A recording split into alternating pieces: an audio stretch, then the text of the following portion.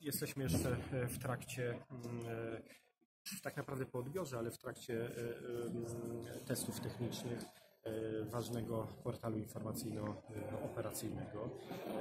Jeżeli te testy wyjdą odpowiednio, myślę, że niedługo również będziemy mieli kolejne narzędzie, które w zamierzeniu ma usprawnić obsługę naszych klientów.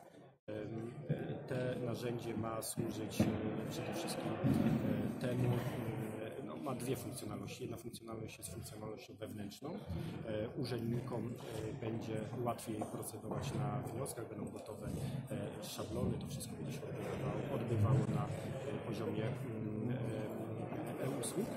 No a druga funkcjonalność to jest taka funkcjonalność, która ma być skierowana dla klienta zewnętrznego. Klient będzie widział na jakim etapie jest jego sprawa, będzie uzyskiwał informacje na temat tego, jaki jeszcze jakiego dokumentu brakuje. Również przez ten portal będzie można wypełnić wniosek. No, niestety wydrukować i przynieść, ale to jest już wymóg ustawowy ale sam, sam portal w ocenie urzędników może naprawdę poprawić funkcjonowanie samej instytucji. Konkretne terminy odnośnie tego, kiedy sprawdzony?